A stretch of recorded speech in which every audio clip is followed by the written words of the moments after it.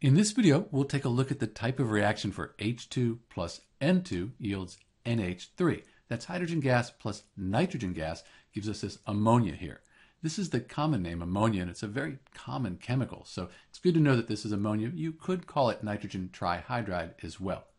So in this reaction, we have hydrogen and nitrogen coming together. They're combining into just one substance. So we have these two substances combining into one substance.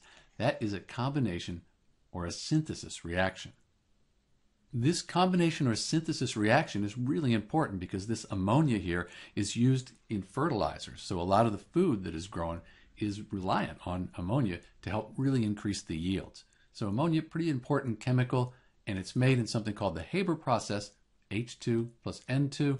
That gives us this NH3. This is Dr. B with the type of reaction for hydrogen plus nitrogen gives us ammonia. Thanks for watching.